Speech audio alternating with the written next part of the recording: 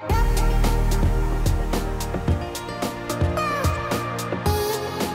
is my first Sanctuary Cove Boat Show and uh, blown away. This is, uh, as far as shows around the world, probably one of the best laid out shows I've ever been to. I'd rate this up there with Cannes, Cannes and Boot. I'd say yes, you guys have done an incredible job here. Yeah, we've got here is the world's first sort of um, turnkey production electric jet tender.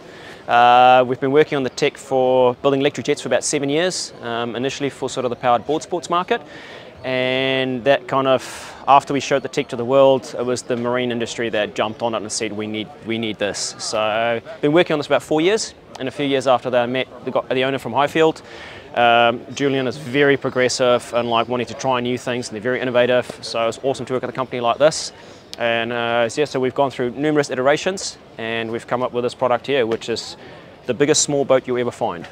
Everyone always needs to carry needs storage for space on boat. You know, your dive tanks, your groceries, life jackets, and if you've got a large petrol engine or thing sitting in the way, you kind of lose a lot of that. So with this boat, we've got a large swim platform at the back. You know, you can sit and lounge on it. It's great for putting you know putting flippers on if you're sitting in the water, getting in and out. Uh, you've got everything underneath the seat is all dry storage, and then same again underneath all here. It's all dry storage. So it, it, literally is the biggest small boat that you're going to buy uh, in this sort of size. It's uh, because you just you can't get the space on anything else. So it's a it's an awesome platform. We've got a simple to use 48 volt system, very safe voltage. You're not going to electrocute yourself. We use a battery chemistry called lithium iron phosphate. Again, it's the safest chemistry you're going to get. You can puncture a nail through the side of it and it's fine, so you don't have to worry about any of those undesirable events. We've got a 20, 25 horsepower jet in here, so you can do 20 knots in silence, and there's just nothing like that.